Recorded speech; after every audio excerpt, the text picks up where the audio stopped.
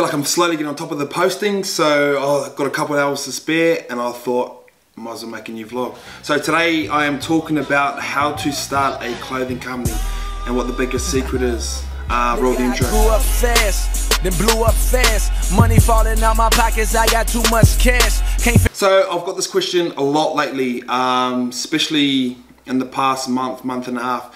My friends and I are going to start a clothing company. What do I need to do? And I'll tell you what the secret to starting a clothing company is. This thing right here the smartphone. We live in the information age, but we're starved of knowledge. I don't think people realize how powerful this thing in your pocket is. Do you know what I mean? It literally holds the answers to everything. Like, I'll give you an example. If, I, if it was me versus you, I go grab 20 of the smartest people you know. You're like, sweet. I'll grab my mom, my dad, the kid who was the best at maths at school, the girl who got dux, uh, my grandma's smart, my auntie's an accountant. Uh, meet me down at the pub, I'll bring my phone, let's do trivia. And if I challenge you to trivia 10 times in a row, I'd pump you every time. Do you know what I mean? I'd be the guy, I'd be sitting over there going, oh look, the guy's listening to his mum and dad about business advice. They don't own a business.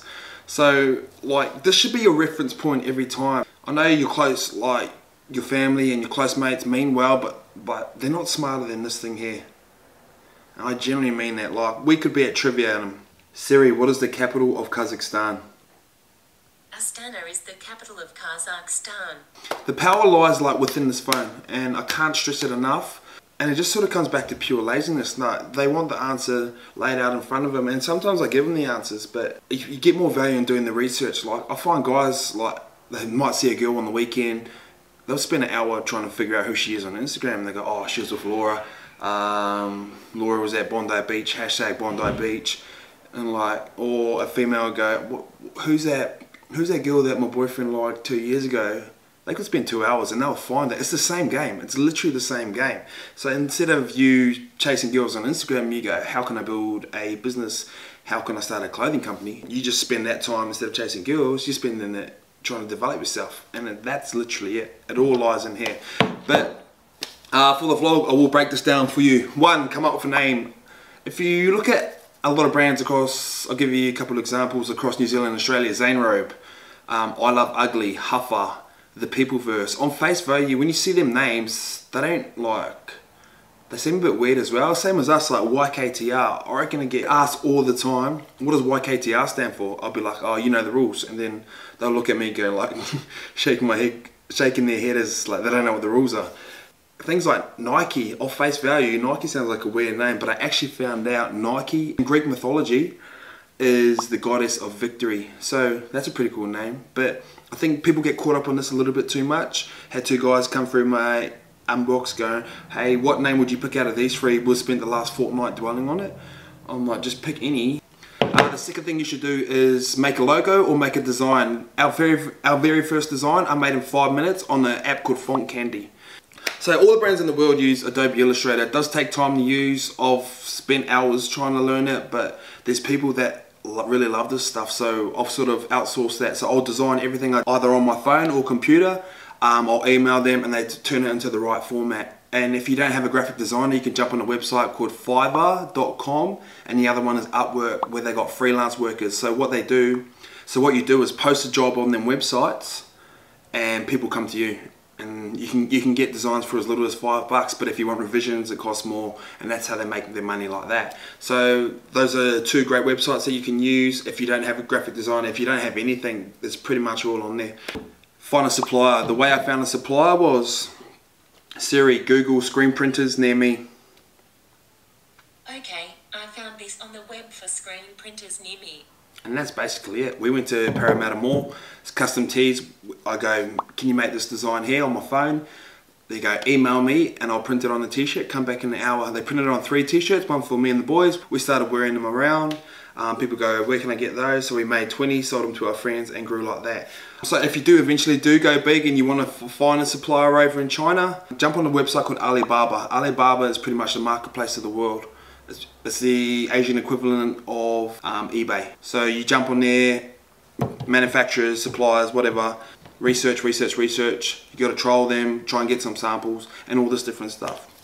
And that's basically it. And then all you got to do is try and market it and sell it. And I've done a few vlogs now on marketing, and hopefully that pushes into sales. A few things I would be careful of. Scalability. I'd start small and grow big. The way we've done it, I wouldn't change it for the world. We started with three t-shirts, just wearing them ourselves. We grew to 10 t-shirts. We grew to 20 t-shirts. We sold them to our friends. We made $2 profit, bought some more shirts, went again. Brought in another design, went again. And slowly moved like that. Like we've been taking this seriously for a year, but that process, I was doing that for eight, nine months before I go, all right, I want to go a bit bigger. I just didn't dive in. And I've had examples. I've had two people I know, oh, or not personally know, but have come to me, gone, I want to go to China, or this, I've got 20k. They've come back to me in the last month, month and a half, going, like, I can't sell all my stuff. Like, what do I do? And I, I sort of pre-warned them, but they were like, I've got wholesalers. I've, all my friends going to buy stuff. Like, trust me, it's going to be alright. And we go into business with great optimism, but um, a lot of it will fail and that's a scary part and it's a, and it's a part that a lot of people don't talk about so I'd start small and grow big from there and people come through my inbox going hey me and my friends got money to spend. Throw a support. I'm like how much money you got? And they're like 500 bucks. So 500 bucks is a great starting point but you might be only be able to buy 10 t-shirts. But if you can't sell those 10 t-shirts how you going to sell maybe 500 t-shirts? Do you know what I mean? I get people coming through um, go we got 3k to spend. Um, send us your supplier in China. And, and I'm like, you know, 3K is not even going to be enough money to get your clothes into the country, let alone design them, make them, sample them. And that, that's a real shock to a lot of people because they don't understand. They think it's just going to be so easy or it doesn't cost like a lot of money. Um, and that scares a lot of people off as well. So I generally think start small with your local screen printer, find the best uh, screen printer near you, trying to build a relationship with them. Hopefully, get a graphic designer on board where they can take that part out of the job for you and build slowly from there. Like, there's no rush. Like, you don't like may feel like we've popped up overnight, but it just definitely hasn't felt like it's overnight. So, I generally encourage you not to rush things.